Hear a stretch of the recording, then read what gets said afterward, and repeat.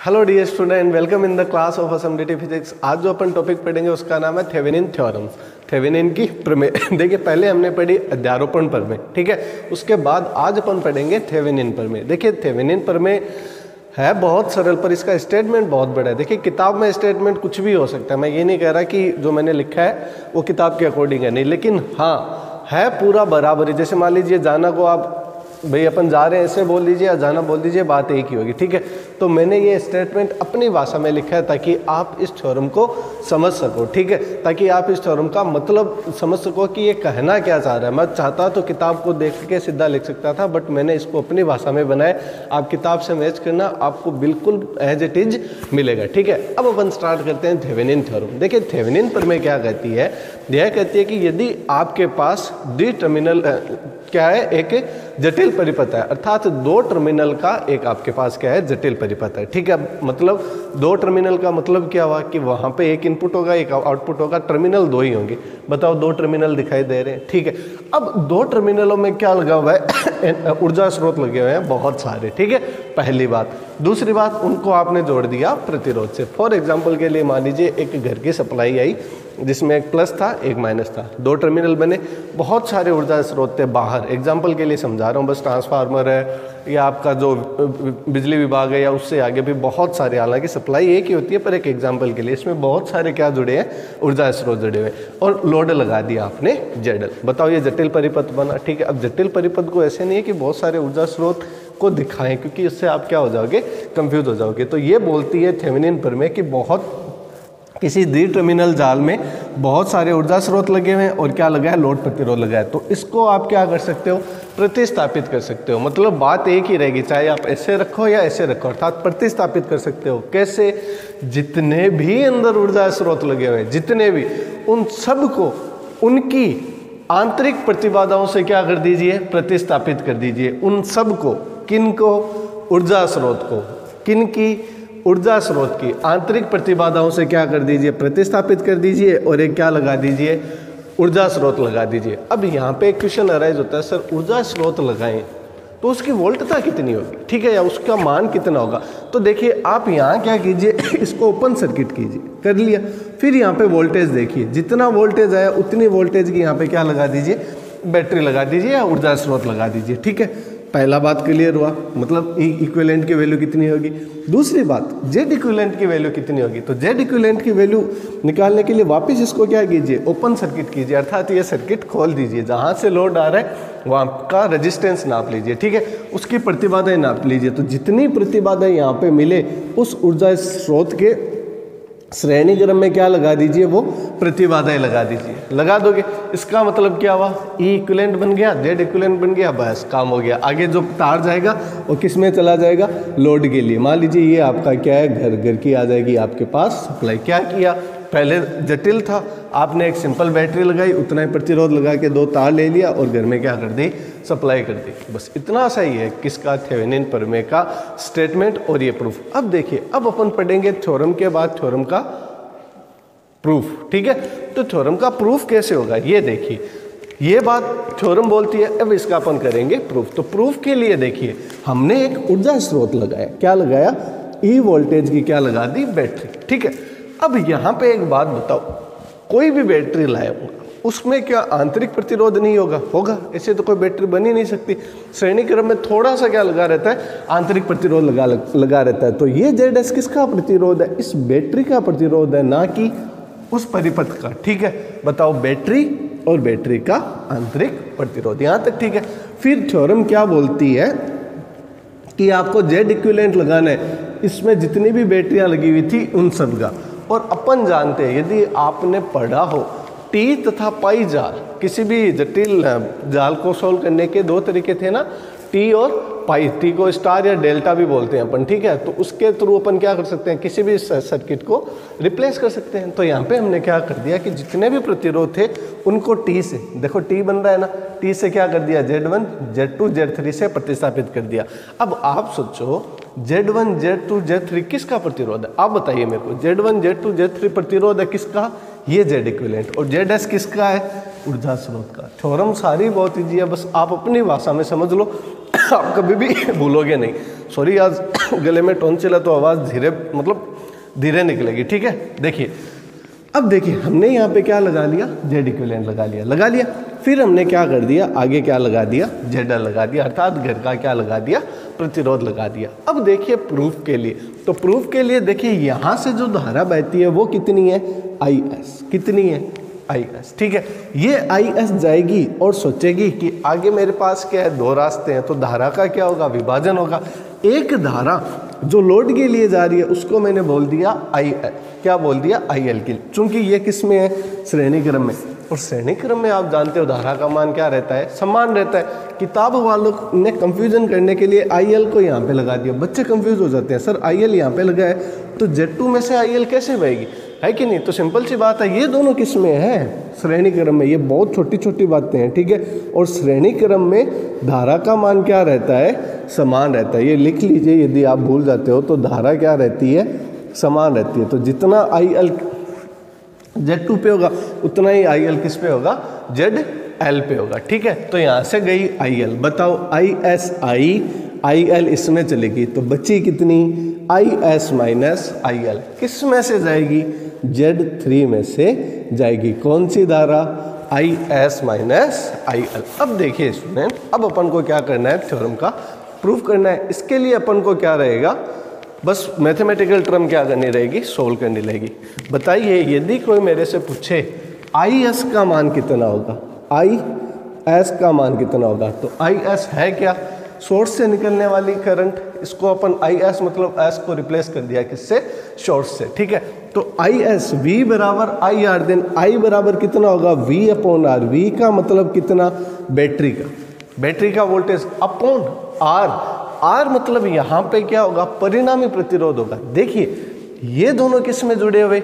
श्रेणी क्रम में। तो इनका तो प्रतिरोध कैसे हो जाएगा? जेड एस प्लस कितना हो जाएगा? जेड वन यहाँ तक देखो, जो बात समझाना चाह रहा हूँ, मैं इस पूरे परिपथ का क्या लेना चाह रहा हूँ? तुल्य प्रतिरोध लेना चाह रहा हूँ।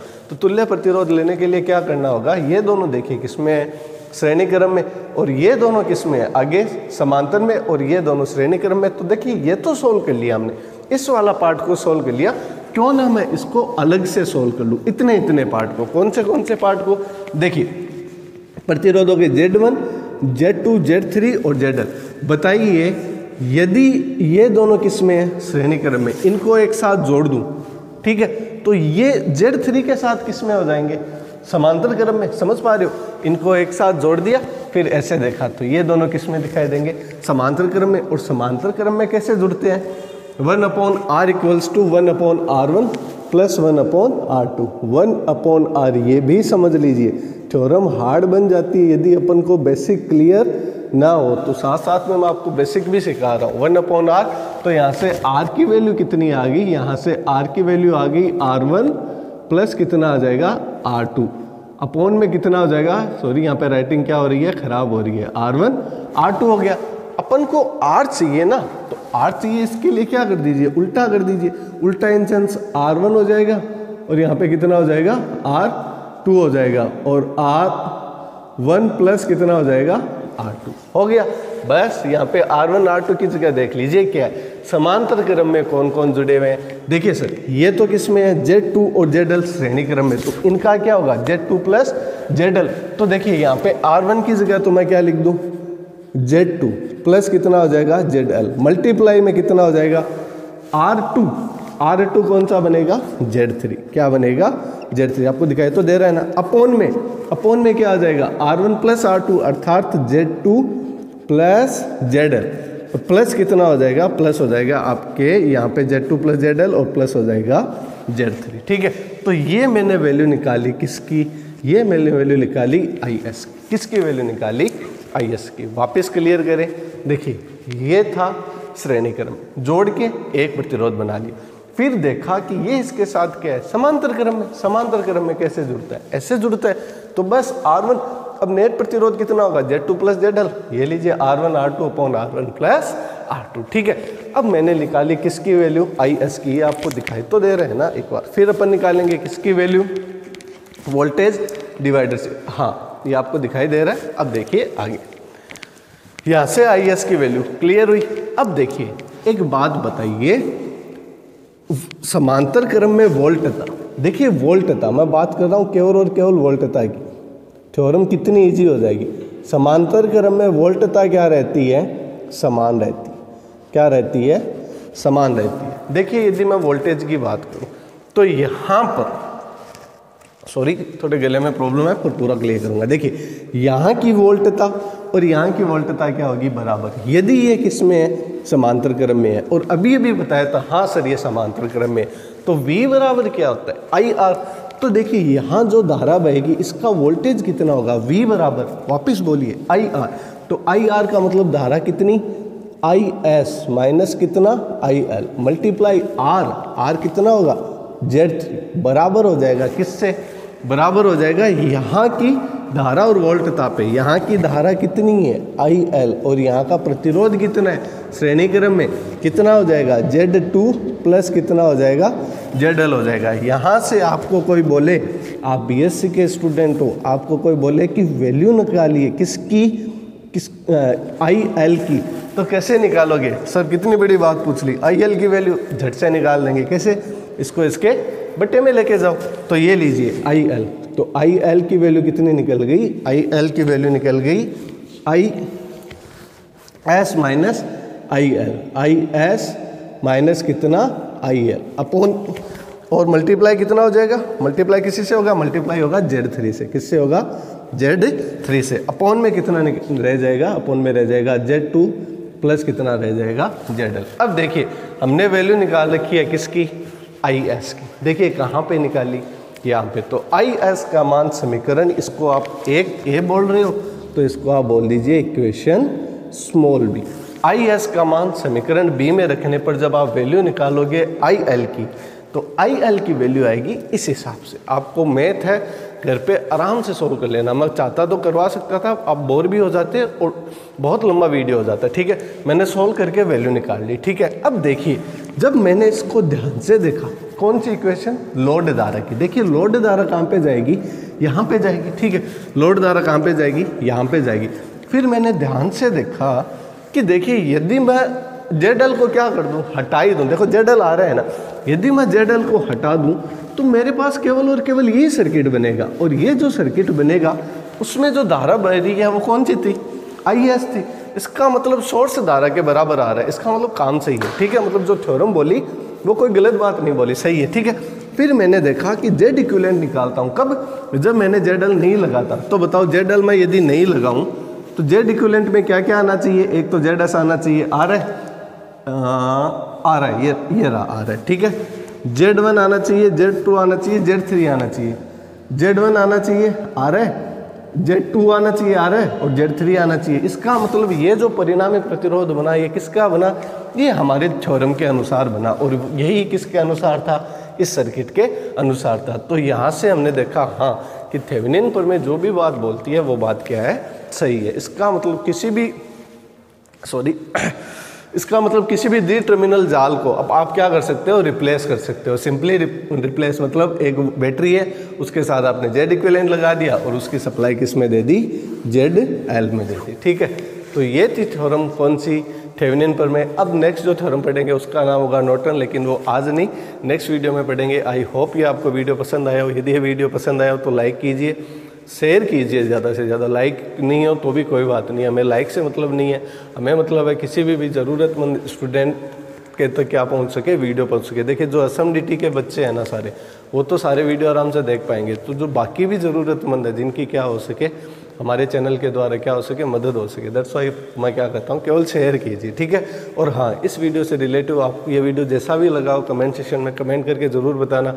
नेक्स्ट जो नोटन प्रमेय होगी, ठीक है?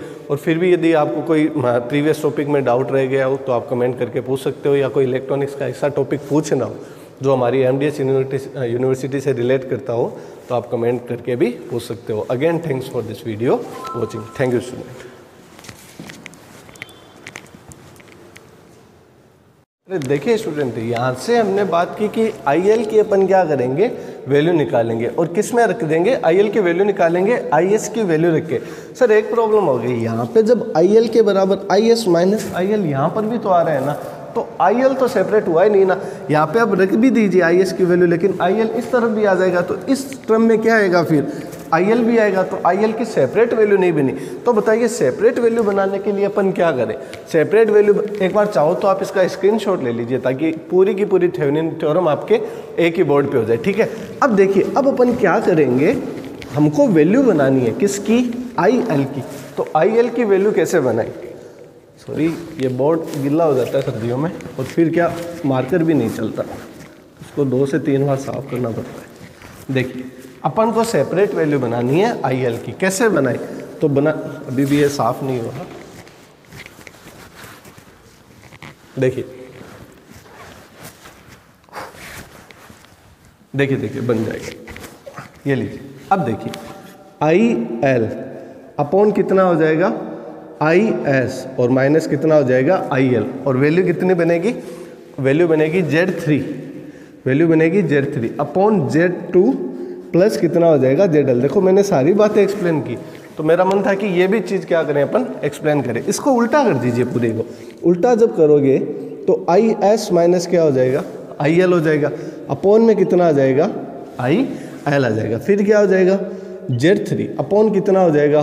Z two plus Z L अब सेपरेट डिवाइड कीजिए। सेपरेट डिवाइड करेंगे तो ये तो इसके बटे में चला जाएगा। सिंपली बोले तो ना? और यहाँ पे क्या आ जाएगा? माइनस वन ठीक है? ये माइनस वन सुंदर सा उठ के यहाँ पर जाएगा तो यहाँ पे कितना हो जाएगा? प्लस वन हो जाएगा। ठीक है?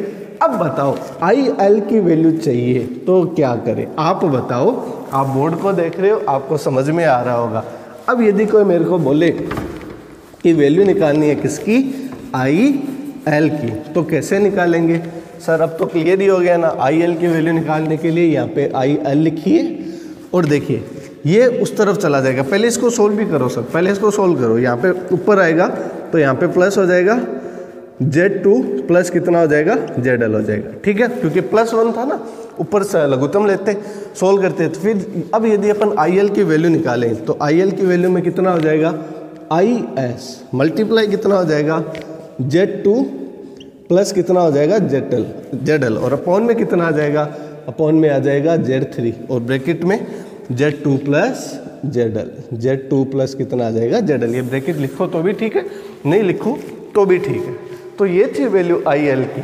अब अपन क्या करें? अब अपन आई एस की वैल्यू रख सकते हैं। वैल्यू लिख के क्या कर सकते हैं? अपन ड्रम को सॉल्व कर सकते हैं। ठीक है, आप चाहते तो ये कर सकते थे, पर मेरा मन था कि ये भी क्लियर करवा दें। Again thanks for this thanks for watching this video इस वीडियो से रिलेटिव आपको कोई भी क्यूरीज तथा कोई भी डाउट हो तो आप कमेंट सेक्शन में कमेंट करके पूछ सकते हो thanks for this video watching